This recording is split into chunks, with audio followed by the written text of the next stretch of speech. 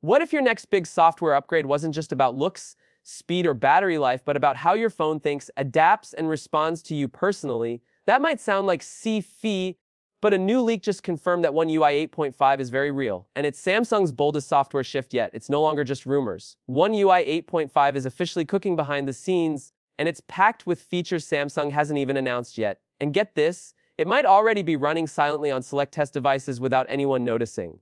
Welcome back, viewers. James here.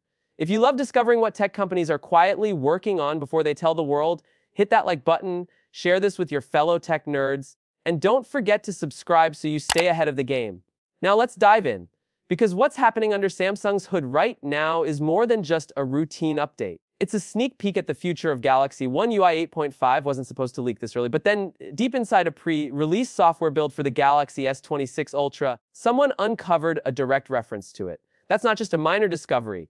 It confirms that Samsung is prepping a refined version of One UI 8 just in time for its next flagship launch. And here's what makes it special. Instead of being based on a brand new Android version, One UI 8.5 still runs on Android 16, just like One UI 8.0, but it's not a small bump. It's shaping up to be the real meat of Samsung's 2026 vision. Think about it, One UI 8.0 felt like a light refresh, new animations, some tweaks here and there, better AI tools. But 8.5, it's about modular upgrades, deep personalization, and software that evolves based on your phone model. If you've got a top-tier Galaxy Ultra, you might unlock features that simply never appear on your older or mid-range device. But the best part, you won't need to root, sideload, or hack anything. It'll all be native, dynamic, and smooth. And here's a wild twist. Samsung isn't just testing this on their flagship devices. The Galaxy S23, a phone many dismissed as a budget filler, is now showing up in internal tests running One UI 8 based on Android 16. This is Samsung playing chess, not checkers. Why test on the S23 FE? Because it's the perfect benchmark. It runs both Snapdragon and Exynos chips, it's affordable enough to represent the mass market, and it's just powerful enough to run newer AI models. If One UI 8.5 works well there, Samsung knows it'll scale beautifully to the rest of the Galaxy lineup. But it doesn't stop at phones. Samsung's quietly expanding its One UI testing circle to watches, tablets, and even accessories.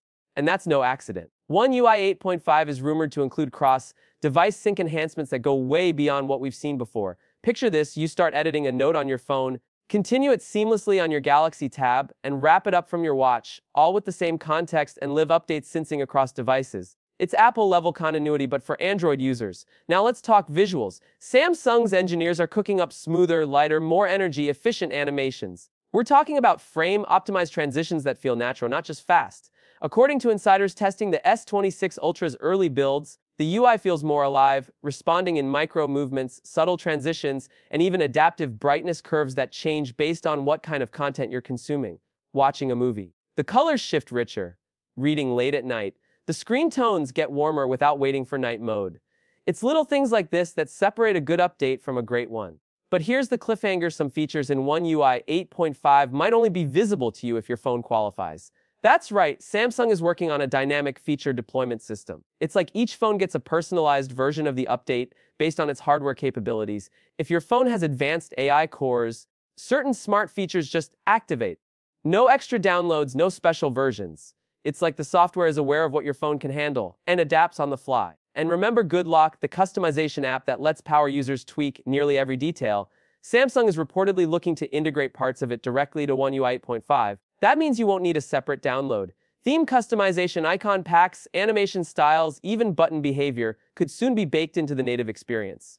And here's the best part Samsung might finally introduce a way to send leave feedback directly from the UI itself. See a bug long press, send feedback. Love a new animation. Mark it as a favorite. This could be Samsung's most interactive software experience yet. Let's talk timing. The Galaxy S26 Ultra is expected to debut around February 2026 with One UI 8.5 out of the box.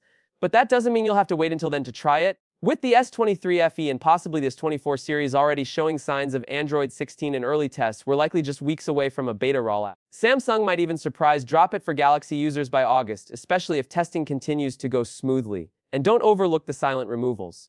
According to a few internal testers, a controversial AI-generated wallpaper feature that appeared in earlier betas is now missing no explanation, no patch notes, just gone. Is it being scrapped or held back for a paywalled Galaxy AI service? Only time will tell, but one thing's clear, not every feature Samsung builds is guaranteed to make it to your phone. Now zoom out for a second. What we're seeing here is a shift in Samsung's entire rollout philosophy. No more simple flagship to mid-range trickle. This is modular strategic, AI-driven deployment where any device from a smartwatch to a budget phone could be the testbed for a critical new feature. It's smarter, it's faster, and it's coming whether you're ready or not. And if you think this update is big, just wait till you see what Samsung is planning next with its Galaxy AI platform.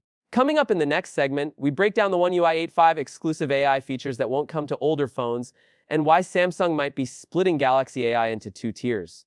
Stick around, you're not going to want to miss what's coming next.